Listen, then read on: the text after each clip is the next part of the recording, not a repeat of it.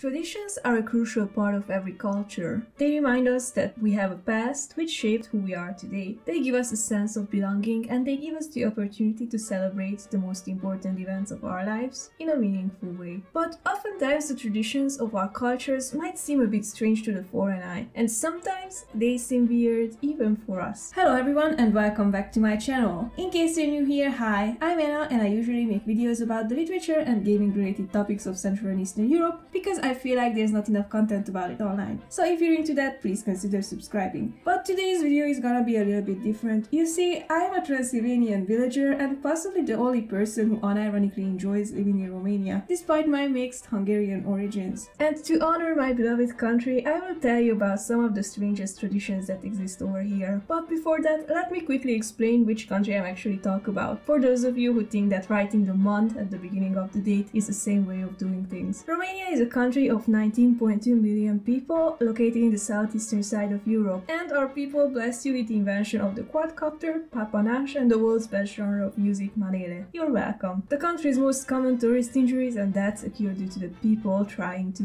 take selfies with our wild bears, so please, for the love of the Dumnezeu, stay away from them. Also, Romania is known as a highly religious country with 81% of the population living by the traditions of Christian Orthodoxy. But many of our customs are actually a strange mixture of Romania's pre-Christian pagan practices and the basic Orthodox celebrations. Iară și iară cu pace Domnului să ne rugăm.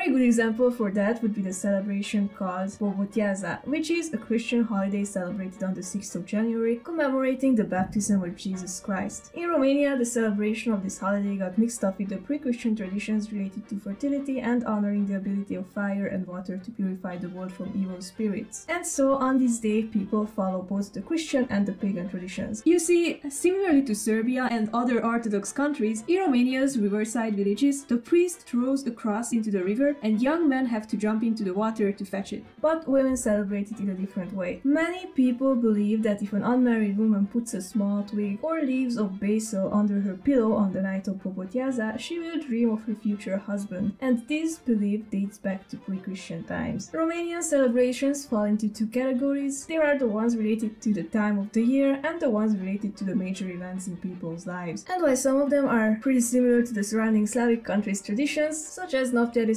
Which is comparable to the old Slavic celebration of Ivana Kupala, you can find some pretty strange ones in various villages all around the country. Strangely enough, most of these are related to death, which just proves the validity of the country's happiness index. Disclaimer, each cultural region in Romania has their own set of beliefs and traditions, and most of the things I will talk about do not apply to the entire country, but many regions have similar yet quite different versions of these traditions.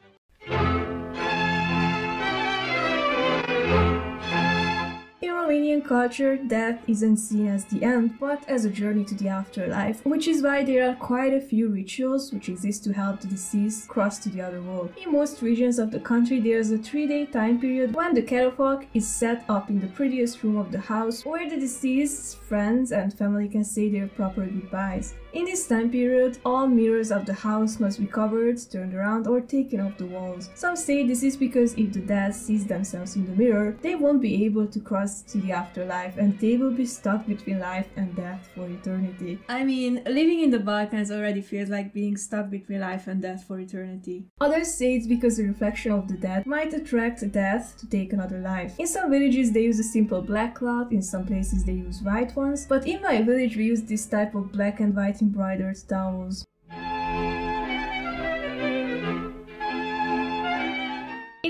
All across Romania, you might see villagers throwing a rooster across a freshly dug grave. Some say this is done because roosters can chase away the evil spirits. But according to ethnographers, this tradition dates back to Geto-Dacian times when people used to bring animals as offerings for the family of the deceased. This was the case in my village as well. Chickens, roosters, ducks and geese were pretty common gifts for the families of the deceased. But nowadays people only give money to help out with the costs of the funeral ceremony. But the good people of Gorj County take this one step further. If the deceased was a bad person, they will pass around a black chicken over the dead body to make sure they won't turn into a moroi, which is a vampire-like creature in Romanian mythology.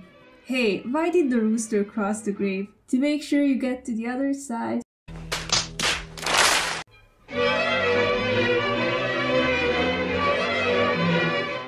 Romanian culture, the first bath after a child's baptism is considered to be a sacred event. Where's the money, Lebowski? You want that money, Lebowski? Which is why the child's first bath is prepared with the strangest ingredients. According to traditions, on the day after a child's baptism, the godmother has to prepare the bath in a smaller tub with honey, money, and a few drops of holy water. Some people even add some basil, silver, rose petals, and many other ingredients. People believe that through this ritual, the child will grow up to become brave, honest, and a rich person. But let's be realistic, no amount of holy water can make you rich in the Balkans.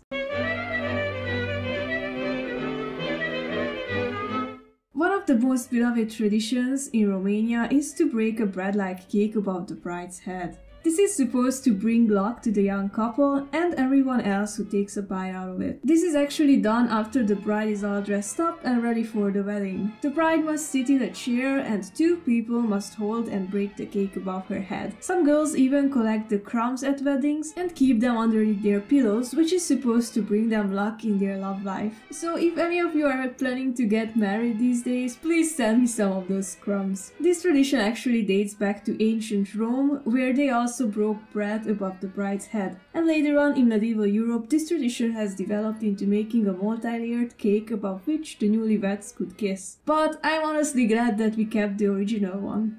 We talked about that, we talked about christening and weddings, now let's switch to the traditions related to the time of the year.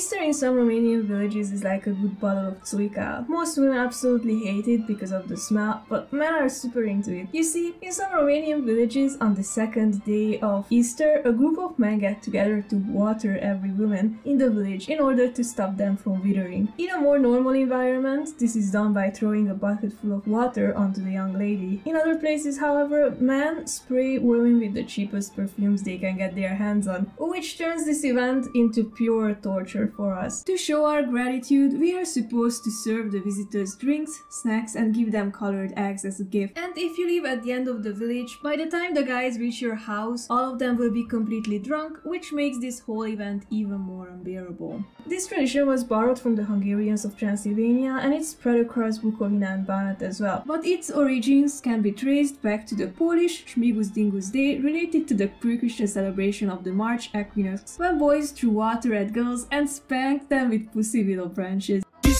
więc wypada zapierdolić mega włada Już podjeżdżam pod remizę, na kozaku kurwa blizę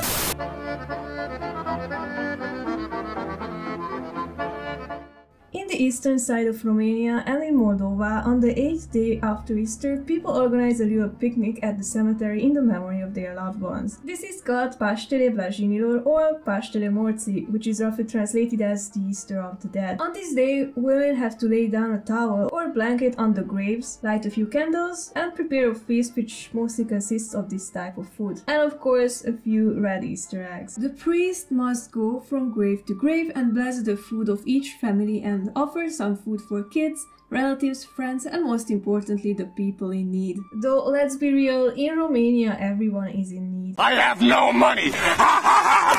It is important to note that this isn't just an excuse to have a party at the cemetery, this is the holiday of generosity. According to superstitions, on this day you are not allowed to do the laundry, beat a rug, no that's not an innuendo, or do any sort of house or garden work which might produce loud noises. You are also not allowed to badmouth anyone who is dead, even if you were at bad terms with them, because malicious gossip might attract their spirit to return and hurt your loved ones.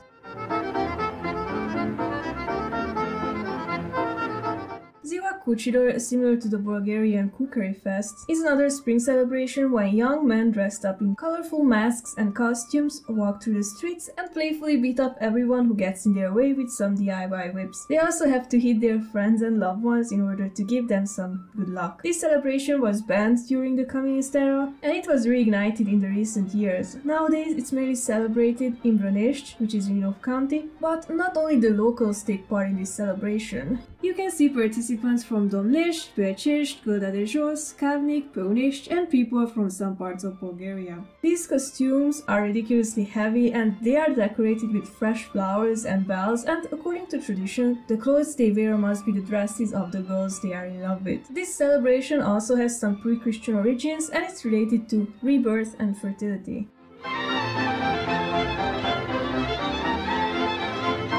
The goat dance is low-key my favorite Romanian tradition and I'm still pissed about the fact that in my village we do not celebrate this.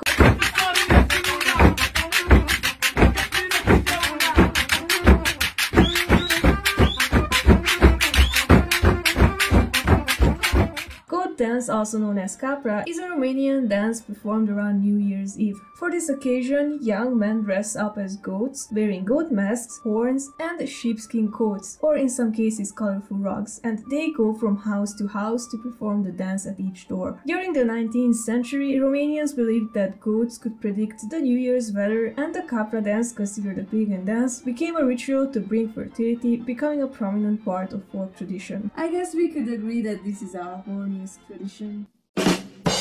Now, as you can see, Romanian folklore and traditions are quite wicked, dark, and honestly charming, and I think this aesthetic could serve as a great inspiration for a Witcher-like video game. But enough about my opinions. What strange traditions exist in your country? Tell me in the comments below. If you enjoyed this video, give me a thumbs up, and if you're interested in topics related to Central and Eastern European literature and gaming, please consider subscribing. Thanks for tuning in, and have a great day.